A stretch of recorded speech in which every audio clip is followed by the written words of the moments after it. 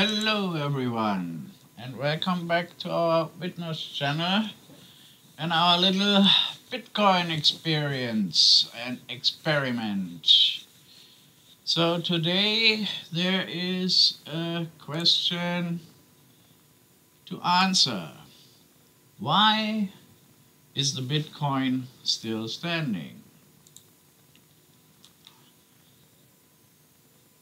Many of you might have watched over the last few days how the market developed and many of you were might be thinking why has the bitcoin not crashed yet? Why is everything still up pretty high when we compare to where it has been a year ago? And that is a valid question because if Bitcoin would be a classic financial instrument, it probably would have crashed by now. But Bitcoin isn't. The main answer to the question is Bitcoin isn't leveraged. The main actors in the Bitcoin market put their own hard earned cash in it and don't buy Bitcoin on leverage credit. And there are a few other very important things you might want to consider. So what are the prices for Bitcoin at the moment? So you can see we are looking at Bitcoin at 33,000, ah, let's say $34,000 at the moment. So it has gained about 10% from its low yesterday, but it has lost about 50% from its peak. But if you look at it over the last 12 months, then it still has gained quite a lot. I don't want to, or we can have a look at the graph. So over the last 12 months, Bitcoin has still gained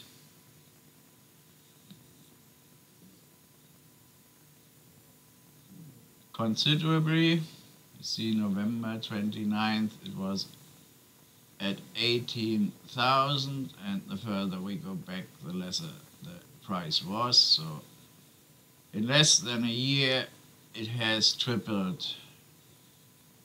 So that is not bad for an investment by all standards and all means. So we are still very happy if we are long-term investors.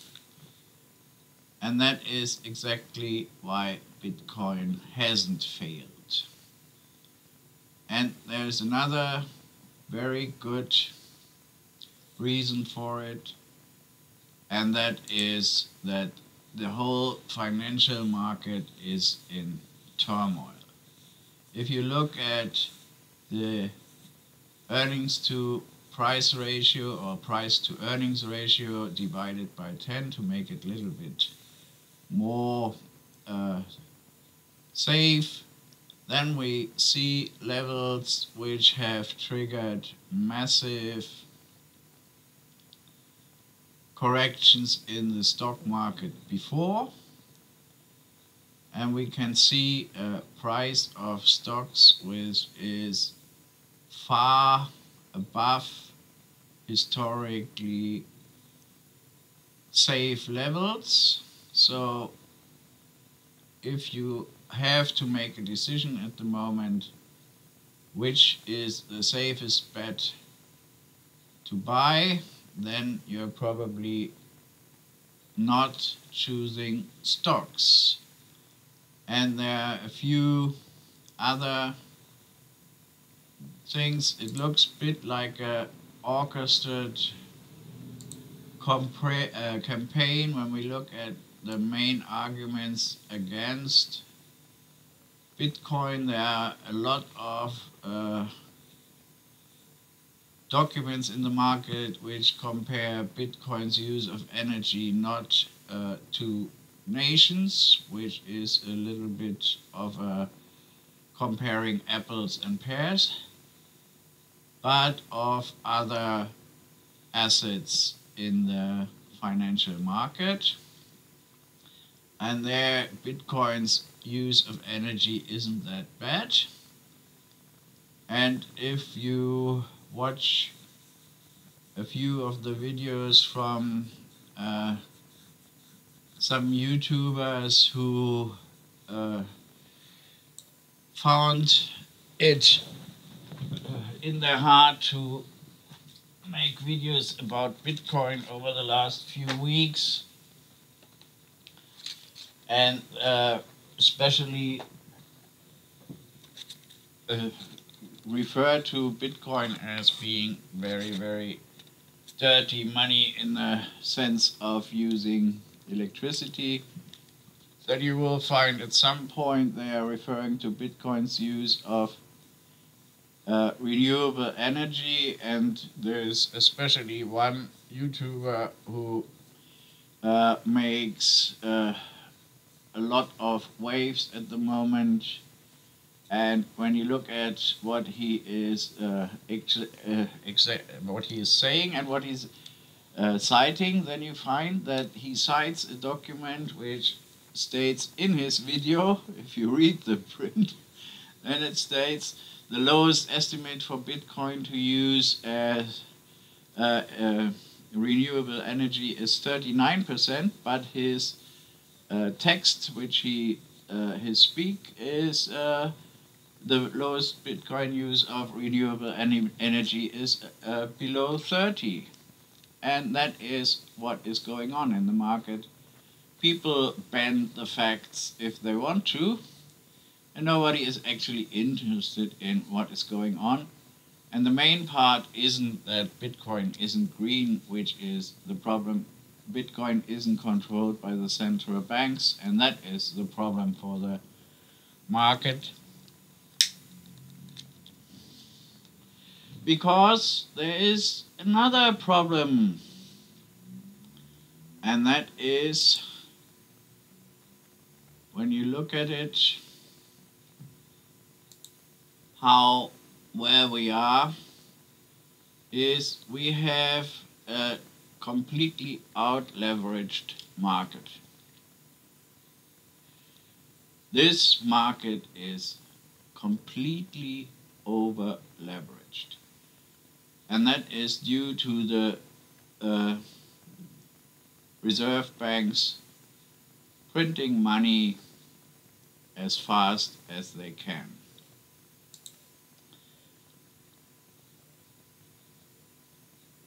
The problem with printing money is not only that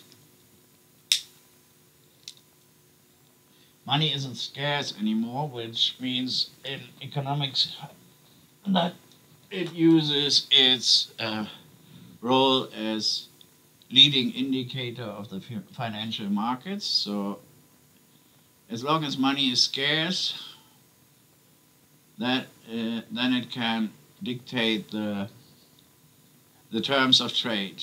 But if you print money on an industrial scale, then you make it available, readily available, and then other factors take over. So the main problem with printing money is that you uh, extend the balance sheets of banks, which allows them to hand out ever more credit. And that means that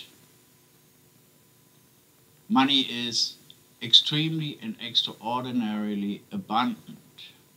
So what is happening is uh, the central bank is buying government bonds because nobody else is going to buy them because they are basically junk. The public doesn't believe in the governments being able to pay back their debts at any point in time. So the central banks have to step in and buy government bonds. And those government bonds are stored or are actually bought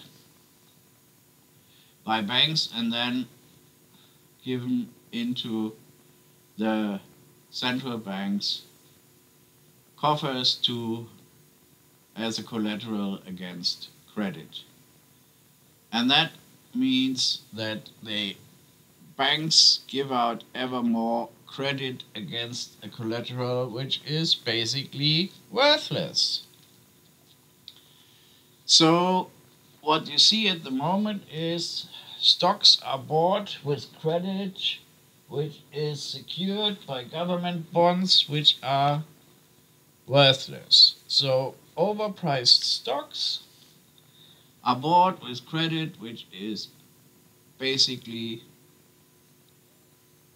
which is based on uh, no collateral at all.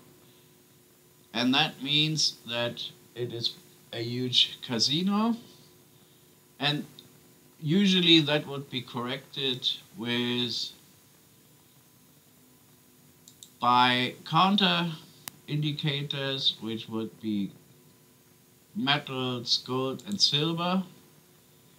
But unfortunately the gold and silver mark is rigged as well because due to gold and silver certificates the banks have found a way or some of the banks have found a way which is also backed up by the central banks uh, to manipulate the gold and silver market by just selling non-existing gold and silver in the market whenever they want to and thereby controlling the price for gold and silver.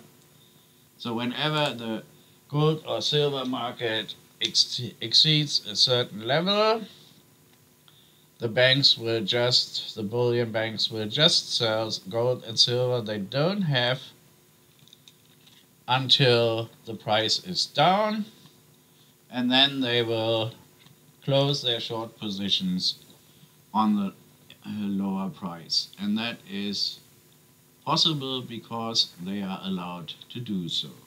There's no there's no regulation in place which forbids them to do exactly what they do.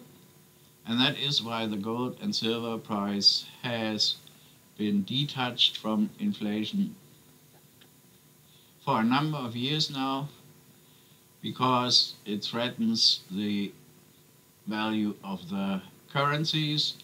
Because if you can't buy gold and silver with your dollar anymore, then you might consider the dollar worthless as well. And that would make a run on the banks. So there's a valid point in not to allow this, but on the other hand, it only extends the period until the pain really bites. So at the moment we are in a market where all the assets are under pressure because the banks are fighting their fight against the devaluation of the classic assets against the new cryptocurrencies and uh, all the members and players in the casino they know that their time has come because in a few weeks time we will see how inflation feeds into the market. We will have the first half of the year gone and then there will be reckoning about what is going on on the price front. They might change a few indicators in the uh, basket for goods and services to uh, make inflation seem lower than it is. But uh, the overall experience will be that inflation is round about the 7 to 8 percent. Fair guess because uh, oil alone has risen by 10 percent over the last six weeks. And there are a few other indicators which make it very obvious that the inflation rate will be about 7 to 8 percent in real terms, and that is far above any corridor, and that's only the start. The world economic has not even picked up pace yet. And if you look at the commodity markets today, you can see that basically all commodities are in the green. There is only a very, very few exceptions. And this trend will continue. We will see more and more people switching from the standard, from the old economics, from the leverage market of stocks and government bonds to, yeah, things which they consider more stable than the classic financial instruments and that will be one of them will be Bitcoin as well. So that is might be the reason why we will see another rise in the Bitcoin price. I'm not so sure about that. I'm not advocating it. It is the battle is still open. But what I know for sure is that Archegos, will not be the only victim of the leverage because all of the assets, the classical assets, even brick and mortar, is overpriced at the moment because of the cheap credit and the abundance of money which is in the market. And we all know it. I mean, there's no, we are all sitting in it, in train running at 190 miles an hour and there is no brakes. There are no brakes and the train is heading for a wall. Nobody knows the answer. We are all waiting what will happen. The only thing we know is that it isn't working. So there will be some kind of fix. Whoever comes up with a, with a good solution will be in line for the next Nobel Prize. And if it is the classic solution, it will be a pain for the masses. We had a century where oil and steel and yeah, oil and steel and uh, banks ruled the roost. And now we are changing into a century where basically food prices, data, and information will rule the roost, and the old money still hasn't found its place in the new world. So they have to come up with a solution. We will see how it looks like. And until they find a solution for that, there's no there's no actually threat for Bitcoin because the as I said Bitcoin is not leveraged. It is the the pundits actually take the losses. It is not other people's money which takes the losses it is their own cash which they invest and not uh, other people's money and that is why they have a very a much better standing in the market than anybody who has leveraged assets. I am sure there is a place for Bitcoin and digital currencies in the market in the future because they will provide a lot of utilization for added value. We are at the same state with uh, Bitcoin or with cryptocurrencies, which we were in uh, the internet development in the late 90s. Bitcoin is far ahead of its time, but that doesn't mean it's dead. So that is my opinion. And yeah, take in that graph and then you know how big the trouble is uh, the classic financial markets are in. And then you might want to decide what you do. I mean, it is basically everybody is staring at the at the situation at the moment, and whoever moves first loses. So we will see where we go. I am not very optimistic for the next 12 months. I see that there will be some kind of reaction which is hurtful and will have a lot of painful implications for many, many people in the world. And that is really, really sad. And I'm not feeling good about it in any form. We had a complete failure in oversight and regulation over the last 10 years, basically since the, the banking crisis and